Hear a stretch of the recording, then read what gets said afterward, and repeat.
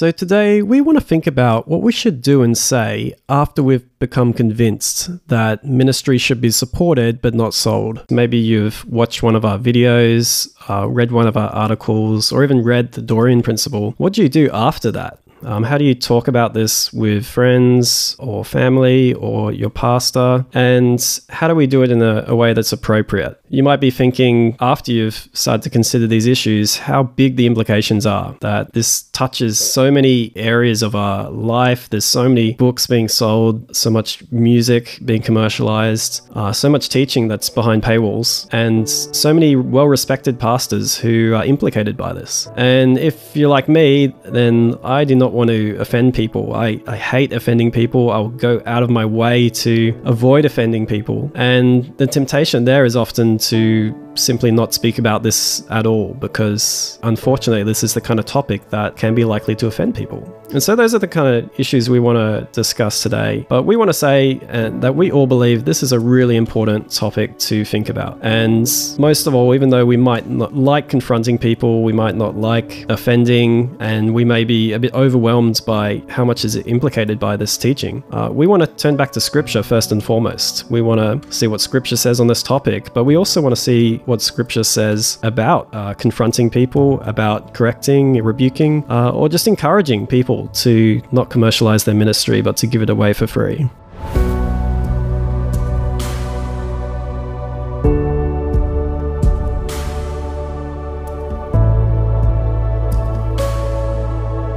And so in 2 Corinthians chapter 2 verse 4, Paul had to confront the Corinthians on a number of issues. And he says in that verse, I wrote you out of great distress and anguish of heart, not to grieve you, but to let you know how much I love you. And that's the kind of attitude that we want to take in everything we write and speak on. That we want to be doing this out of love for people and love for the church, but most of all, love for the truth and love for God. And sometimes that's going to mean that we do have to make people feel uncomfortable. We might even have to offend people out of love for them, but most of all, out of love for God and a love for the truth. And so we're going to be talking through these issues today. And it's not always going to be clear cut. In fact, it's going to take a lot of wisdom to know how to respond to different situations. So this is important to do for the good of all the parties involved, right? There's there's you, there that's the one speaking the truth, there's the party who's hearing the truth, and then there's the church at large. Proverbs 118 through 19 says, But they lie in wait for their own blood they ambush their own lives. Such is the fate of all who are greedy, whose unjust gain takes the lives of its possessors. Now, this, of course, has in mind all different kinds of greed that wouldn't be addressed here. But if if you are willing to acknowledge that uh, violations of the Bible's ethic on money and ministry are one kind of greed, this applies to them, right? Someone who acts in a greedy manner with money is not harming other people's lives so much as they're harming their own life. Uh, this is bad for them. And so, uh, one who is turning another away from sin is saving them from demise. Yeah, and I would just add Ezekiel 3:18 and 19 to this this mix. It's a kind of a, a drastic verse for modern western people, but I think it does have some implications for us. The general principle of your responsibility, our responsibility to speak out when there are some serious things in scripture that need to be heeded. And so the passage says, If I say to the wicked man, this is the Lord speaking, you will surely die, but you do not warn him or speak out to warn him from his wicked way to save his life, that wicked man will die in his iniquity, and I will hold you responsible for his blood. But if you warn a wicked man, and he does not turn away from his wickedness and his wicked way, he will die in his iniquity, but you will have saved yourself. And so there's just that level of responsibility in some sense and to some extent that we have if we've been if we've been shown the truth in this area of money and ministry, if we've tasted of the joy that it is to freely give, then we need to share that with others and also warn them of the the consequences. We've done that in some of the videos. You know, there's the emotional, some of the, these emotional and practical consequences, right? Of just how people in the rest of the world outside of the West are harmed spiritually by this selfishness of hoarding our resources and charging for them and limiting the access the global church has to sound teaching of the things that the Spirit of God has given us and that we should be giving to them freely. And there's all of that kind of stuff, but there's also the church's good is involved in this. Maybe you guys can speak on that. Yeah, uh, very simply, 1 Timothy 6:10 says for the love of money is the root of all kinds of evil. By craving it some have wandered away from the faith and pierced themselves with many sorrows. And this is in the context of Paul talking to Timothy and explaining uh, what he needs to guard against in the church and the fact that uh, many will come in having uh, different doctrines and leading the, the church as a whole astray. But he describes these people who, co- uh, who come in with different doctrines as being those who are lovers of money, those people who disagree with the sound teaching of Jesus Christ are uh, lovers of money who think that godliness is a means of gain, which it is, but only with contentment only as a real understanding of what godliness is, not as a, a, way of making money. And so this is something that affects not just the individual, but uh, the whole church. And so, in the end, this is good to address this sin so that you can have blood off your hands, so that the other person is saved from their own poor end, and so that the church at large is protected from any kind of false teaching or any kind of harm that comes through the love of money, as uh, it inevitably does. And so it's important to recognize that this is, at the end of the day, even if it's misunderstood, it, it is a love of money that needs to be addressed, and it is something that can harm the church at large. The next question is okay, you understand the importance of the fact that you need to address it. How should you address it? What do you need to do pr- to prepare yourself?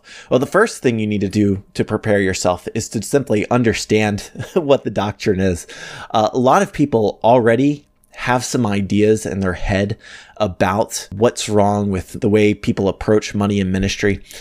And upon encountering some of our material, a lot of times they'll think that we're already saying some of the things that they're thinking when that's not necessarily the case.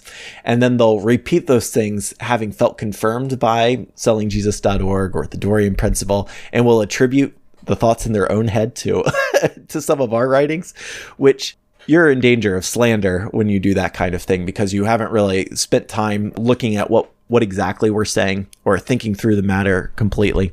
And then if you haven't thought through the matter very well, you're also in danger of hypocrisy, being guilty of uh, some of the very sins you're railing against. So it's important to understand these things well so that you're not being a hypocrite in this way. And even just a, a hypocrite in having uh, considered the matter thoroughly and asking other people to. So, you know, like telling other people that it's important to consider this matter thoroughly and yourself not having done so. I I have one member who occasionally listens to this podcast, so he'll know who I'm talking about because I uh because I occasionally get on to the, him about this, but he very frequently shares this book with others because you know he's excited about it but he's only gotten halfway through himself. And i usually point this out whenever he reports this back to me. So, he says hey so i shared your book with you know this well-known pastor that he met at a conference etc i said but have you read it yet? And he's still only halfway through. So uh, maybe after he re- hears this he'll uh, he'll go ahead and finish.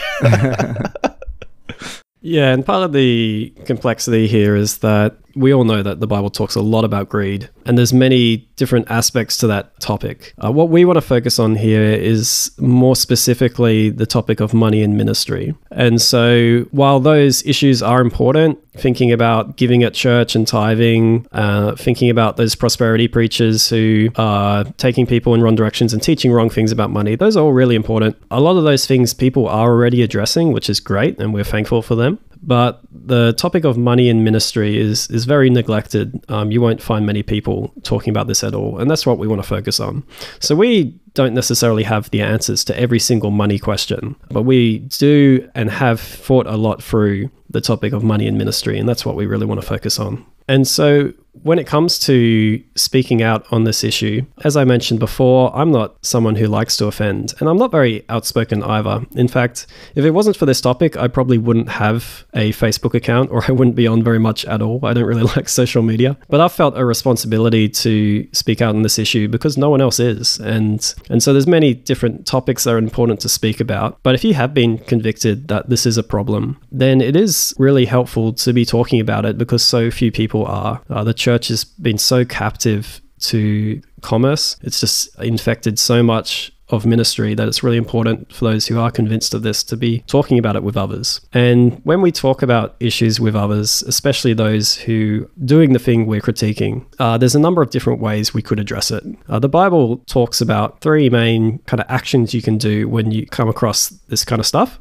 In 2 Timothy chapter 4 2, Paul was encouraging Timothy, someone who looks after people in different churches and congregations, to correct, rebuke, and encourage with great patience and careful instruction. And so there's the three kind of actions there there's correct, rebuke, and encourage, and they're not the same thing. Often people kind of just read through them very quickly and don't really distinguish between them. Um, but Paul does. And, and note that he says with great patience and careful instruction. So we do want to go about this issue with caution, with wisdom, and great patience. And so when people don't listen to us or they continue to do things we, we think they shouldn't be, it's important to exercise patience in that. But there is a difference, as I said, between encouraging, correcting, and rebuke. And you can kind of think of them on a spectrum. For those who have just never thought about this topic at all, or maybe they haven't published anything themselves, you might just want to encourage them to look at what the Bible says on this issue or encourage them to be generous. Uh, whereas someone who is doing something they shouldn't, uh, they're selling a form of ministry, but they're not aware that it's wrong and they've just gone along what doing what everyone else does, then you're more dealing with an issue of correction there. You more want to point them to scripture, point them to the resources we've created, and explain why that isn't the right thing to do. And finally, when we talk about rebuke, we're really talking about the, the end of the spectrum there, where it is a, a serious case that needs to stop. Uh, the person is aware that it's wrong, they're intentionally doing it. That's where we get more in the realm of rebuke. And so it might be tempting to jump to the end of that spectrum to start rebuking people that you don't even know or um, who have never heard or, or thought through this issue. But we'd really encourage you to, as Paul says there, do these things with great patience and careful instruction. Have having thought through these things yourself. Uh, also thinking through the situation. What is that person doing that that is wrong? How wrong is it? Are they even aware it's wrong? Have they learned anything about this topic before? Those are the kind of things you really want to think about. And I would just add and repeat. We've said this many times, but we are coming at this from an angle mainly assuming and hoping that most people are in error in, in this area of money and ministry. They're in error unwittingly, unknowingly. They they haven't it's not on their radar. They haven't thought through it. They they've never been encouraged to think about it in any way, shape, or form. We we think most people are well meaning and we hope that when you are approaching people in your circles, that will be the case so that it's not somebody who is some some kind of evil intentionally i'm going to see how much i can i can rip people off and and go against scripture. We hope and assume that's very very small minority of the cases. Yeah and you know scripture definitely does say there'll be people out there that are in it for the money. They love money. They put on the appearance of being a good person and you can so easily get away with that today because everything is so commercialized. And so you can absolutely write a book to make a profit, to make money, and no one would be the wiser because everyone else is doing the exact same thing. And so a big part of this problem is is that although most people we believe are well intentioned, the fact that they are commercializing their ministries makes it really hard to spot those who are actually in it for the money. Um, so we do have to be careful about not accusing people of having bad motives, but at the same time, you know, there will be people out there that do. Another verse that is helpful in this matter is Proverbs 9 8. Do not rebuke a mocker, or he will hate you. Rebuke a wise man, and he will love you. And so there will be people out there that, whether you correct or rebuke them, they may hate you for it, and that's that's on them. Whereas those who are wise, those who have genuine intentions, um, you may be afraid that you're going to offend them, but it turns out actually they will love you for it in the end. Um, because when we point people to the truth, when we point them back towards God, back to the way He wants us to live, that is a wonderful, wonderful thing. You know, the whole gospel is based on the fact that we are all sinners. All, all three of us in this conversation are sinners. Um, we continue to struggle in different areas of our life, and and there's been many ways we may have fallen short in this area as well in the past as well. Certainly, um, uh, none of us had as strong convictions as on this topic as we do now. So yeah, we want to remember, you know, there was a time when we were a bit confused on this topic as well, and we want to be compassionate and patient with people. Right. It's real easy to get fatalistic about people or to despair and say, oh, there's no way this person would be convinced, either because they're already too involved in the business of selling ministry or because of something else about their personality. But if you take that kind of posture, you're not really relying on the Holy Spirit, which is how any of these conversations in correction need to go. What we're relying on is not our own ability or our own wisdom or our own strength. We're really relying on the Holy Spirit. And so if you if you do trust God to guide his people to lead them into all truth. Don't take a posture of despair or uh, hopelessness when you think about approaching someone about this topic, but rather speak the truth in love. And remember, love love uh, believes all things. Uh, it's willing to trust that God will work in that person's heart. Yeah. And just to echo a little bit more of what John said, yeah, there will be sinful people who are doing things intentionally as well. I, I would encourage you also as you go out with hope and with, with with boldness and with patience also to not be surprised at people's ability to self justify the complexity of sin. You know, the Bible gives us such a robust theology of the sinfulness in the human heart, this, our sinful condition that's, that has broken some of our reasoning. Uh, has has enabled us with infinite abilities for self justification and uh, reasoning our way out of conviction and all of those kinds of things. You know, go go in also not being too surprised if this does end up creating reactions of negativity and pride or slander or mockery, all of those kinds of things, right? And so at the same time, you know, we do believe that this is what we would call a stronghold in our culture and our churches. This is something that is part of the very fabric of much of Western Christianity for a reason. And when you, you threaten that, it can cause some things that are unpleasant. So, yeah, this topic is definitely going to rustle some jimmies. Uh, Luke 16, 14 through 15 says, The Pharisees who were lovers of money heard all these things and they ridiculed him. And he said to them, This is Jesus responding, You are those who justify yourselves before men.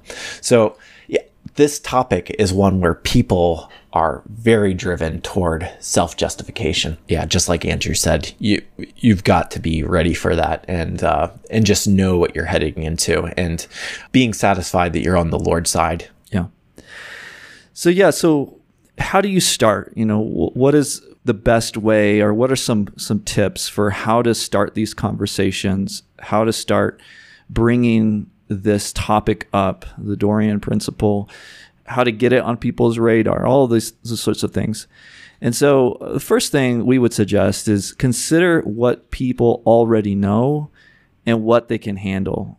And you know, this is going to take wisdom. It's going to be take you asking some sincere questions, getting to know the people, understanding where they're coming from, and having the wisdom and social tact with which to approach them also, there's all kinds of different ways that we continue to provide people with uh, to to expose people to the truth of freely giving. And so, you know, think about those things. We've got physical books. Not everybody likes physical books. Some people some people love them, some people don't. Uh, we've got tracts. What's the difference? Well, a lot of people, as you know, don't want to read a whole book anymore. They they don't have the time for that, and so maybe they need something that's really short and sweet. Or are they more visual, you know, audio visual sorts of people? And um, that's why we're creating videos and podcasts, and we're trying to serve people where they're at, right? And that's what we would encourage you to think about where is this person at? What is the most appealing way for him to consume content and get exposure to these truths? Pretty straightforward, but it's worth mentioning. If you're wondering about the tract, if you order a physical copy of the Dorean Principle, it comes with a tract. And so the idea is that you'd be able to hand that out to a friend if you think that handing them the book would be uh, would be too heavy for them at the moment. So take a take a look around the website and check out the different articles we have. So if you know someone who's involved in music ministry, you know, go ahead and send them the CCLI article, or you know someone who cares a lot about Bible translation, send them the Bible translation article. Just today, uh, this, today being the day of we're recording this episode, uh, released a video that's a five minute introduction to the Dorean principle. Just generically, that's a really good place to start for someone who only has five minutes to look into this. So uh, just take a look around the website, uh, look for what kind of resource is going to be most applicable to the person you're talking about and most interesting to them so that you're not necessarily hitting them with a 140 page read you know, all at once, unless they're into that kind of thing, unless they are a serious reader. Yeah. And and I would just add to that, you know, there is, as we've said, a, a vast variety of different kinds of things on sellingjesus.org that are intentionally created to give you an arsenal of resources that will be relevant to all sorts of different kinds of people. But your job is to be extremely familiar with those resources because if you don't know what's in your arsenal, you can't really effectively wield it. And so, you know, be aware, like have a, a really good knowledge of what's available, what it addresses, how it addresses it, you know.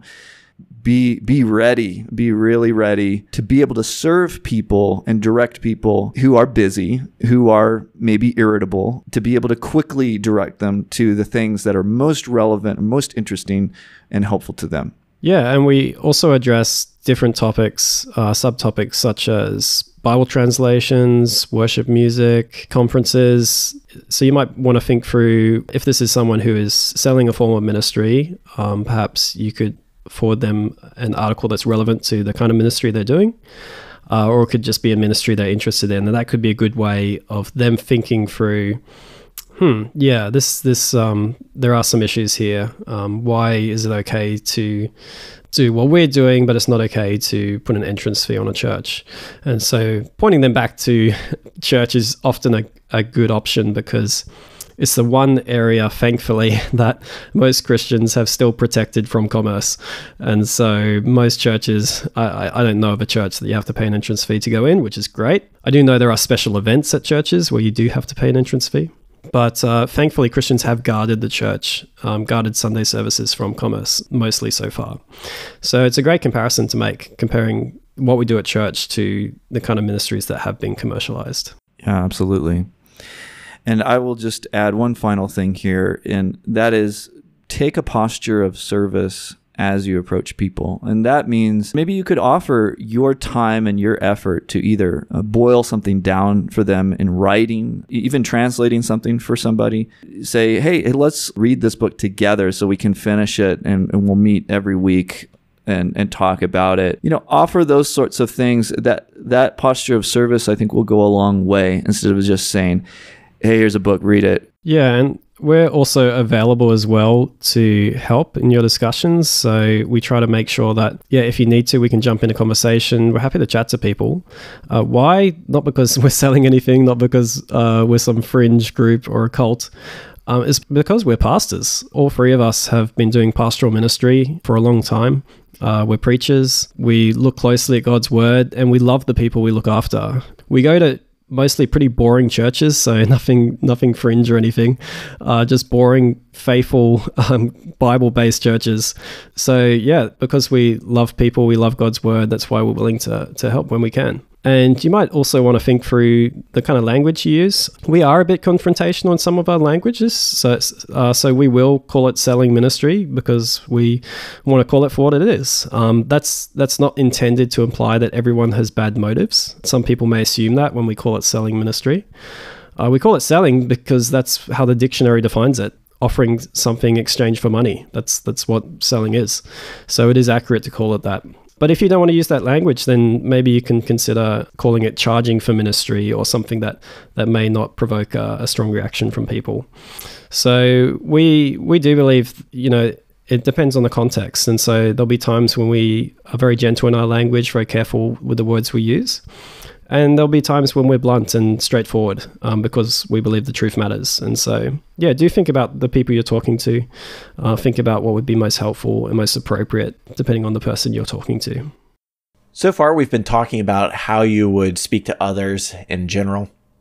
There is one particular person or uh, smaller group of people that you really should speak to, and that is your local pastor or your local church leadership, your pastors, your elders. Those God has put over your body. And that is because if they are responsible for doing the work of ministry, then this is important to them. And also, if they're responsible for teaching others, then the way that this doctrine, this good biblical ethic around money in ministry ideally would spread is through the construct that Christ has established in the local church. And we would love to see more local pastors embracing this truth and and sharing it with others. So please do talk to your church leadership, you know, by sending them whatever resources we've been just talking about or through whatever conversations seem appropriate to you.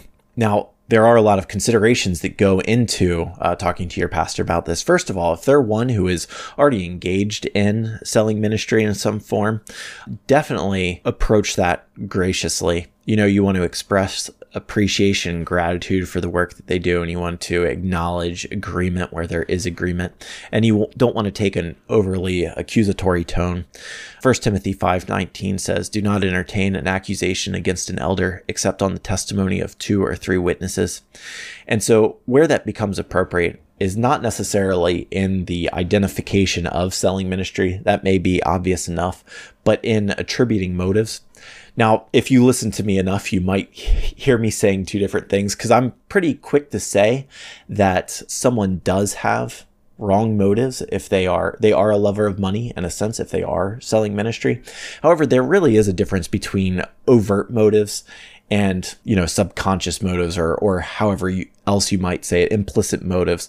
Uh, Jesus did say that you cannot serve both God and money. And so it is true that if someone is serving money, they are not serving God in that aspect. Now, the degree to which they are consciously, you know, trying to serve greedy intentions or the degree to which they are with good intention, just trying to further the work of ministry, you know, all that, all that is very variable. And so if you're going to attribute motive or speak along those lines, don't take an accusatory tone unless there would be very good cause to do so. The kind of the kind of cause that 1 Timothy 5:19 would would speak of.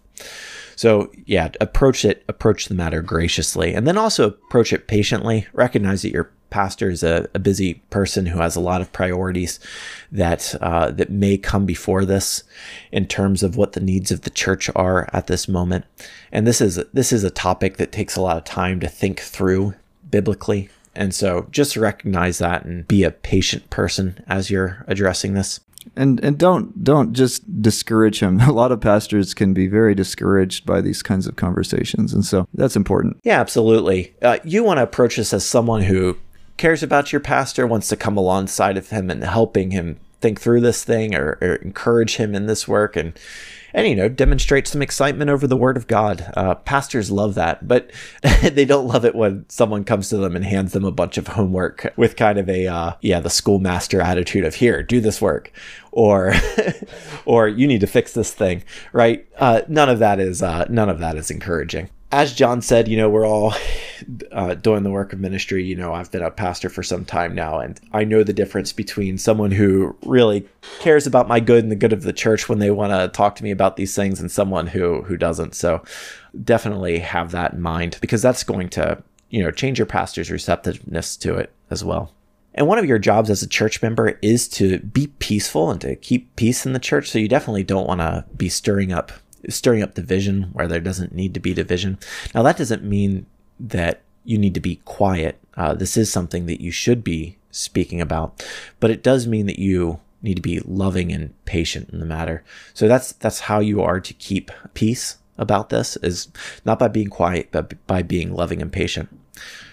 Now, let's say you reach a situation where maybe you were a little what they call cage stage about this, where it would have been better to have put you in a cage rather than to let you loose on other people because you because you were getting a little too uh, too zealous about this topic. And let's say your elders talk to you about calming it down a bit. Well, you know, if their comments are warranted, then definitely do, you know, heed heed what they're saying, and uh, for the for the sake of the peace of the church, you know, there's no need to be stirring up divisions unnecessarily. At the same time, you know, prayerfully search your own heart, and if you really believe that that there is an objective of silencing truth on this more than a more than a godly concern for the health of the church, then you know, figure out how to address that too as far as specifics of how to address that, that's going to be different in every situation and it's hard to say. But just know that your pastor has a lot of a lot of things they need to worry about, a lot of concerns about the good of the church. And so love thinks the best in these things. You know, assume good intentions with your pastor if, if he's not handling every every concern you have about this right now. Yeah, that's excellent. And it's great that uh, it's coming from you, Conley, as a pastor so we're we're coming at this like he said with a lot of empathy. This kind of brings us just to emphasize the importance of prayer. This is all going back to a matter of the heart heart change that we believe God is the only one who can do. Just plain and simple. There's no amount of salesmanship and eloquence and every other strategy that you can muster that will ultimately change anybody's mind and heart. And so we deeply encourage you to completely surround all of your efforts or immerse all of your efforts in prayer. Prayer for the people you're talking to, prayer for yourself, for your own sincerity, humility, gentleness. This this can't be emphasized enough, I'm sure. Yeah, 1 Corinthians 3, 6 through 7 says, I planted the seed and Apollos watered it, but God made it grow. So neither he who plants nor he who waters is anything, but only God who makes things grow. And so go out with that expectation fully settled in your heart that God is going to be the one ultimately who makes any who brings any fruit out of what you're doing. And pray for that fruit. Don't forget that. And don't just pray for yourself or that person, but pray for us as well. uh, we would we would love your prayer, especially if you if you really care about this topic. You know, John, Andrew, and I have limited time that we can devote to this, and honestly, every time I spend time uh, writing an article or working on some something for sellingjesus.org, I really do feel like it's a divine providence that I have a moment and uh, the energy and and clarity to address something. So please pray for more of that for us. Please pray for for our efforts to bear fruit. This won't be done without prayer. So yeah, please do pray for us.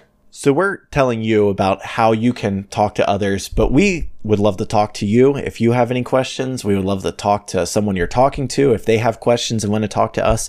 And probably the best way to reach out to us is sellingjesus.org at gmail.com uh, please send us an email there and we'll be we'll be happy to address any questions you have. Uh, we really are sincerely trying to advance the biblical ethic here. And we would love any opportunity we could get to talk to someone who wants to talk to about this. So please do reach out. We're not overburdened by anything that you would send. We're not, you know, it's not it's not a burden to us. It's not something that we go, "Oh no, more homework." It's really something where we would love to talk to people who are interested in this topic and want to know more. And we would love to hear about any victories that you have, any encouraging testimonies from yourself or others around you. That that really makes our day. And we've we've had those come in in the past, and it, it's really a joy to hear how people are being touched, how lives are being changed, and and how action is being taken to to do things differently. So it's really great to hear.